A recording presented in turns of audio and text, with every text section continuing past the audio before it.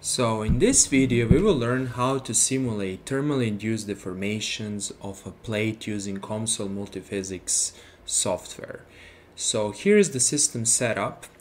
We are assuming a plate and on the top surface of the plate there is a heat source of 6000 watts.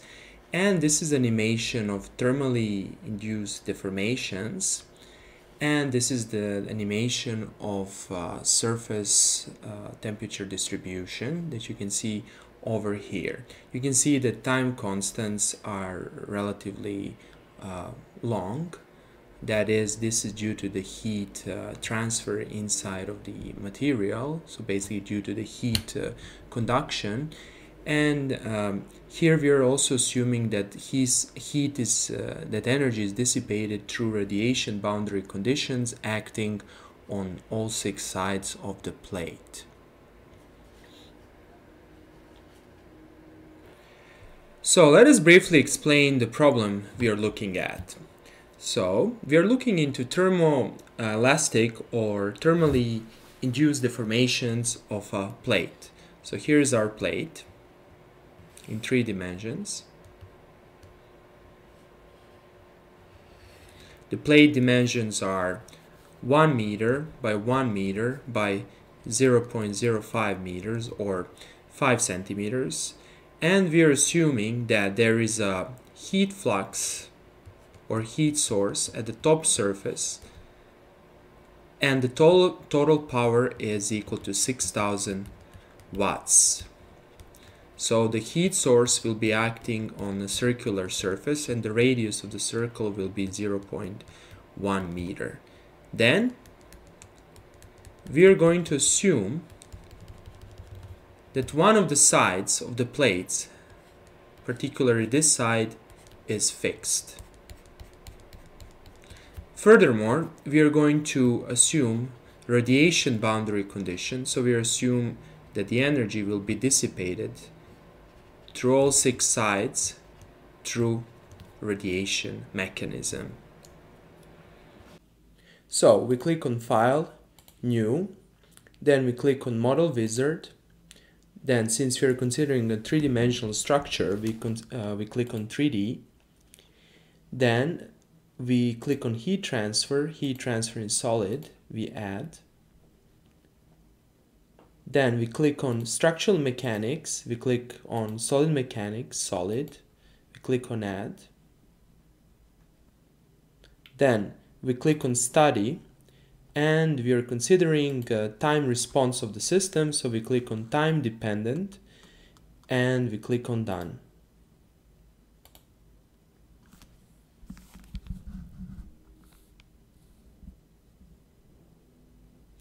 So here is the main window of COMSOL Multiphysics package. Now, our first step is to define the system's geometry. So we click on geometry and or you can click it over here and we select block since we're considering a plate and here we define the plate dimensions. So uh, the width will be 1 meter, the depth will be 1 meter and the height will be 0. 0.01 meter or let's put it 0.05 meters. So 5 centimeters thick plate 1 by 1 meter. And we click on build select. So here is our plate And our next step is to define a boundary heat source. And for that purpose, we will have to define a region of uh, the top um, mirror surface or the plate surface at which the external heat flux or heat boundary source is acting. So, to define such a surface and to define uh, the region, we need to define a working plane. We need to introduce a new working plane. So here is the working plane. So we can click on working plane and here's the working plane menu. Now, uh, you see this shaded region. This is our current working plane. Now, we are going to offset this working plane since we want to define the heat flux at the top surface and the z coordinate offset will be the thickness of the plate and we click on build selected. And now you can clearly see that basically the working plane is placed at the top surface. The next step is to define to define the region. So if we click on a um, working plane and on plane geometry, uh, we see a new screen and this is a basically a top view of our working plane. And then we're going to just click uh, right click and we're going to define a circle. And we're going to define a circle at the position 0 0.6, uh, 0.6 and the radius is going to be 0.1 and we click on build select so here is our here is our boundary region and uh, the external heat flux will act on this surface the next step is to define two additional points that will be used to visualize the temperature change. So we click on ge geometry, right click, and we click on more primitives and we click on points. We repeat this. Now, we are going to choose uh, the first point with the coordinate 0 0.05, 0 0.05, and with z coordinate equal to 0 0.05 and you click on build select the point will appear over here and the second point will have the coordinates 0 0.2 0 0.2 and 0.05 again. So here are the two points. These two points will be used to visualize the temperature change. The next step is to define the materials. So we click on material, right click, add material. And I'm going to choose an aluminum alloy from a list of recent materials I used. However, you can choose any material from material library over here. Double click on a double left click on the aluminum and here you can see uh, basic uh, mechanical and thermoelastic properties of the aluminum.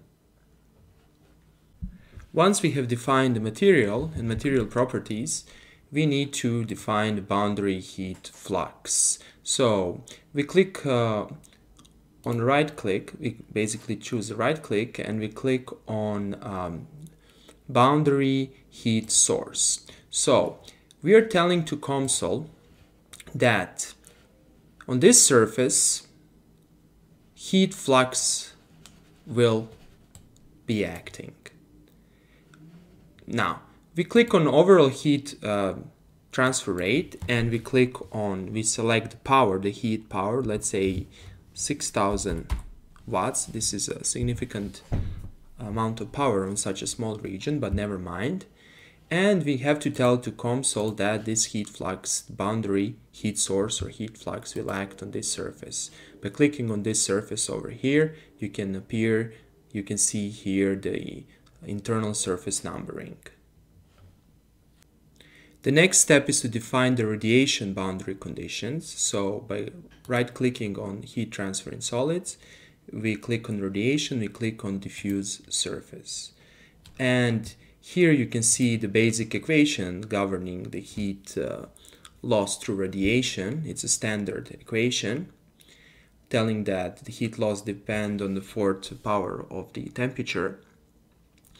Uh, we select the ambient, ambient temperature of 273 Kelvin and we choose the surface uh, emissivity. We choose user-defined surface emissivity. We choose 0.6 and we have to tell to COMSOL the sides or the surfaces of this box that will radiate heat.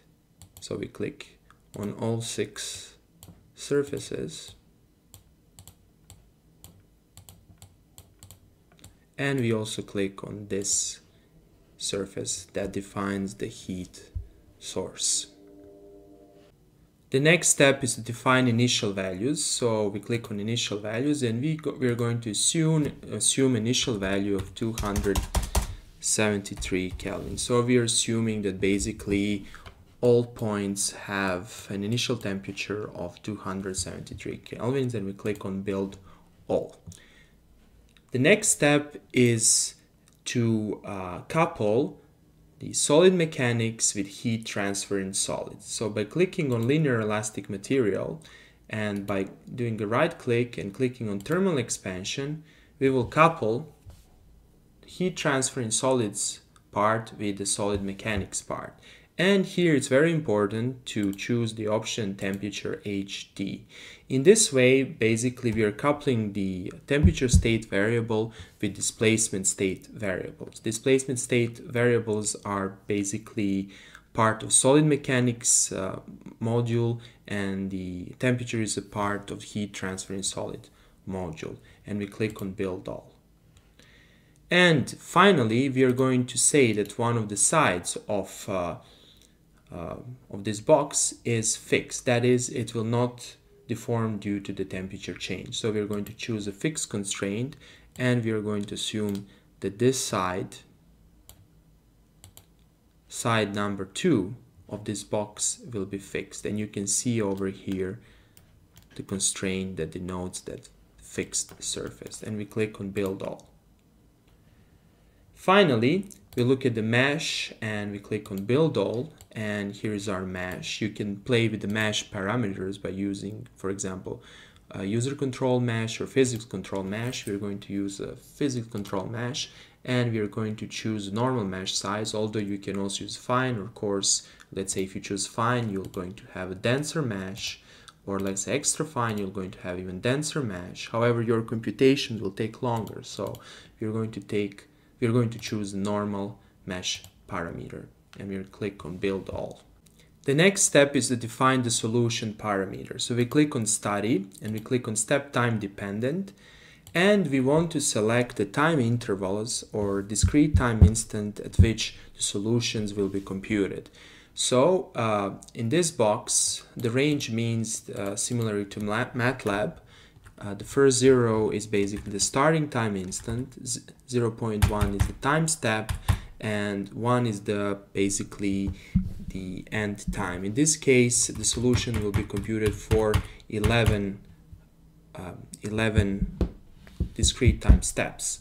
Since the time constant of uh, temperature deformations are uh, relatively uh, large, we're going to choose a starting time of 0, we're going to use a step of 5 seconds, and we're going to choose the final time of, of let's say, 3000 seconds. And by clicking build all, we are now ready to compute our solution. So by clicking on compute, COMSOL starts the computations. Here you can see the progress. Here you can see the log and it's going to take a while for COMSOL to compute the solution since this problem couples heat transferred with solid mechanic deformations. This is a computer, I'm having a computer having 16 gigabytes of RAM and i7 processor. The computer, it's a laptop computer from 2017 basically and you're going to see in real time how long does it take for solution to be computed.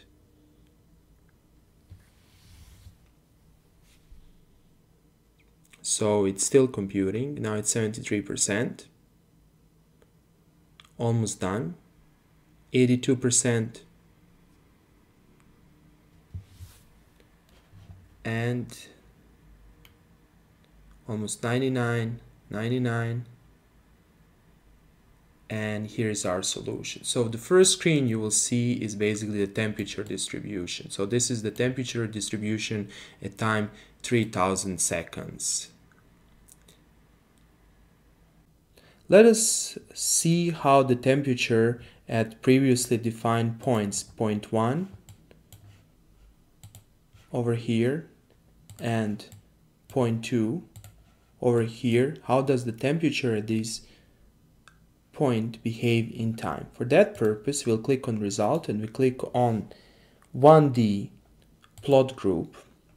And under the 1D plot group, we click on point graph and then we can choose our point. So we're going to choose the point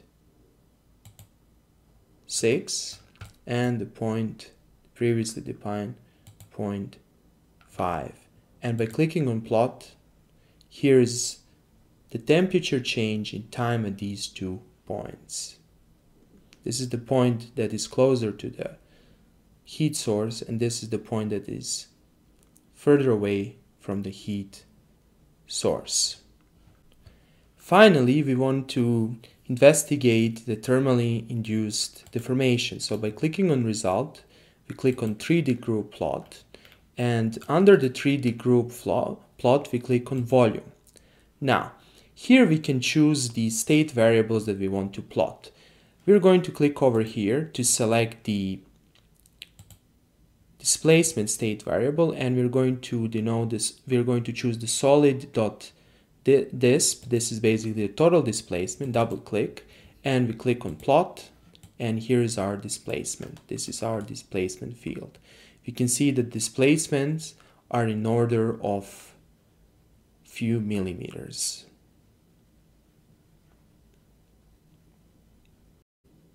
You can observe that displacements close to the boundary, to the fixed boundary.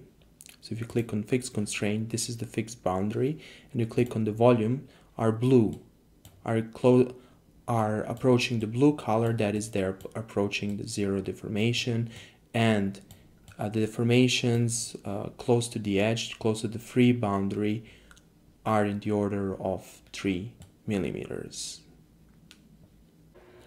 and finally if you want to create a nice animation of uh, basically plate deformation or temperature distribution you can click on export and you can click on animation and you can click on file now, in this section, you can define the file name, let's say animation1. Here you can choose, do you want to plot the temperature? Do you want to plot the deformation? In case of deformation, you will obtain a graph that looks like this. And in the case of temperature, you obtain a graph that will look like this. Here you can uh, adjust the parameters, frames per second, number of parameters, and you can just click on export. And COMSOL Multiphysics will create basically a GIF file after uh, everything has been finished and your GIF file will look like this. This is the same GIF file that you saw at the beginning of this presentation. Thank you very much for your attention.